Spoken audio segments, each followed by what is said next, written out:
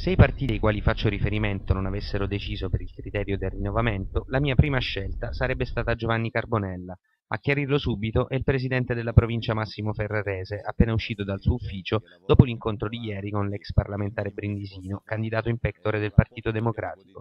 Prima ancora di dire quel che tutti già sapevano, vale a dire che Carbonella, secondo noi centro e UDC, non è il candidato giusto per la coalizione di centrosinistra, Ferrarese esprime tutto il suo rispetto e la sua stima nei confronti dell'attuale presidente provinciale del PD, considerato alla stregua di un padre della politica brindisina. Carbonella incassa con stile ed annuncia che relazionerà di fronte al proprio partito rispetto agli esiti di questo incontro solo il 2 gennaio prossimo, ma soprattutto, pur non confermando ancora ufficialmente quel passo indietro, quel gesto di responsabilità che molti attendono, chiede voce in capitolo nell'individuazione di un eventuale nuovo candidato. Nessuno dei due protagonisti del faccia a faccia lo conferma, ma indiscrezioni vogliono che l'ex deputato abbia già un nome in mente, quello di Rosario Almiento, avvocato molto noto in città, ma soprattutto, come richiesto dai centristi, lontano dalla politica attiva. I prossimi giorni ad ogni modo saranno risolutivi. Tutto questo in attesa che la prossima settimana Futuro e Libertà, con un gruppo di soggetti politici a supporto, sveli il nome del proprio candidato da sottoporre verosimilmente agli alleati del PDL,